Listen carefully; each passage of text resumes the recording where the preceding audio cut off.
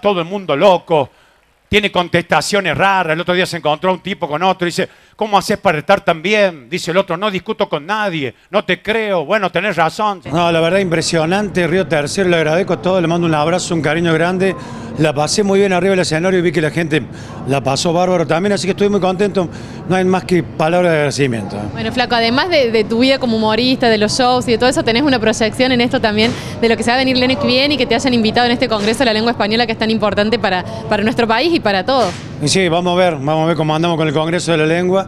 Sí, sí, yo di un par de charlas ahí en la Escuela de Lengua en Córdoba, le gustó a la decana, así que bueno, el año que viene, con todos los preparativos, que viene el rey de España, viene mucha gente, vamos a tener un espacio para hablar un poco de- del cordobés, ¿no? Cómo, cómo hablamos nosotros, que somos tan especiales, del humor, de nuestro lunfardo también, así que bueno, esperemos que nos vaya bien, estamos muy buenos y, y muy agradecidos. ¿Hay algunos secretos que tienen que ver con el humor cordobés, con la construcción del chiste, que vos fuiste descubriendo, que vas teniendo en los años como una estructura? Mira, yo creo que el cordobés lo tenemos, eh, forma parte de nuestro ADN, el humor, porque yo siempre doy el ejemplo cuando hay una reunión de consorcio en un edificio, a los 10 minutos termina todo en un show del chiste, ¿viste? empiezan a hablar macanos los tipos, y, bueno, y, y yo lo, lo construyo el humor con, con cosas que me pasan a mí, pero la gente, porque a mí en una época me llamaban para contarme, para que yo cuente un chiste, pero ahora no, ahora viene y me dice, flaco, te voy a contar un cuento, te voy a contar lo que me pasó. Y bueno, yo a partir de ahí construyo muchas cosas, también leo mucho, hablo con otros humoristas, intercambiamos cosas.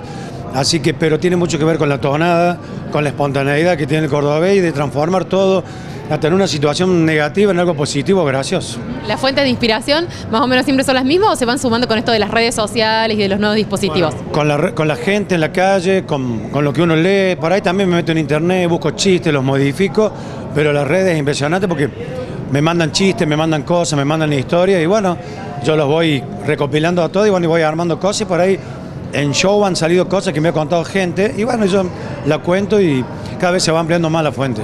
¿Cómo sigue el año del Flaco Pilot? Bueno, ahora tenemos un par de shows. Ahora me voy a Chile. Hago una gira en Chile por, por Santiago de Chile, Rancagua y, y Valparaíso. Después voy a Paraguay también. Vamos a hacer Paraguay. Estamos medio internacionales. Estuvimos en Miami también.